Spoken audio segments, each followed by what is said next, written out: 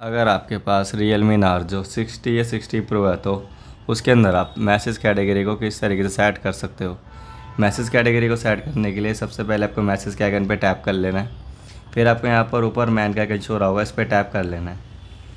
Message setting पे tap कर लेना है। उसके बाद आपके दो सिम है तो यहाँ पर आपको चैनल पे टैप कर देना है। चैनल पे टैप करने के बाद आपके दोनों सिमों पे लग जाएगा। उसके बाद आपको यहाँ पर ऑप्शन होगा मैसेज ऑर्गेनाइजेशन इस पर टैप कर लेना है। और व्यू मैसेज बाय कैटेगरी को इनेबल कर लेना है। अब इसको इनेबल कर लोगे, उसके बाद आप बैग जाओगे। तो आप कभी भी मैसेज के आइकन को ओपन करोगे इस तरीके से तो आपको ये ऑप्शन शो होते हैं। कुछ देख सकते हो यहाँ पर। पर्सनल का है ट्रांजेक्शन का है ओटीपी का है ऑफ़र का है।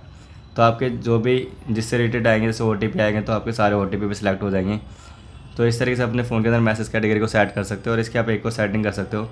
दोबारा से जाओगे यहाँ पर मैसेज के आइकन पे मैसेज सेटिंग पे टैप कर लेना है। जनरल पे टैप करना है मैसेज ऑर्गेनाइजेशन इस पर टैप करने के बाद आपको यहाँ पर प्राइमरी कैटेगरी व्यू यहाँ पर मैं इसे ओ टी पे कर देता हूँ. ओ टी करने के बाद मैं बैक करूँगा. और उसके बाद मैं यहाँ पर से इसको उठा देता हूँ.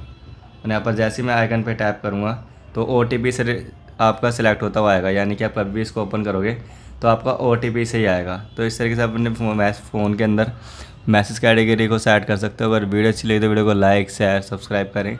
मिलते हैं नेक्स्ट वीडियो में जब तक के लिए बाय